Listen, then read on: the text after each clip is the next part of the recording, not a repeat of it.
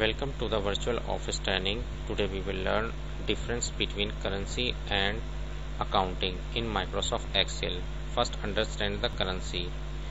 Here country and total sales are available.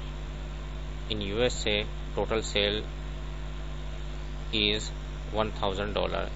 In UK it's a $0. In France I just type the minus sign to understand difference between currency and accounting in Spain it's a $4000 now first apply the currency format just select the value and by default it's a general.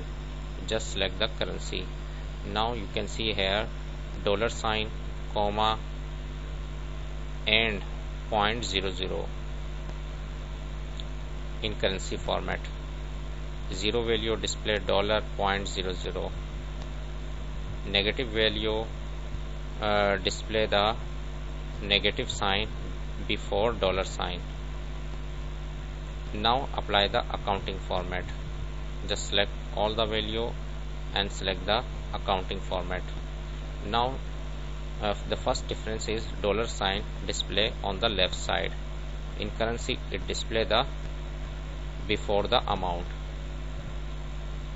In accounting it will display on the left side the second difference is uh, in currency 0 will display. In accounting 0 will not display. It will display dash sign in currency minus sign display. In accounting my negative value display on the bracket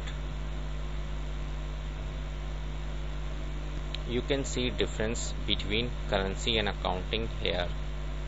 Hope this tip will be very helpful for you. Thanks for watching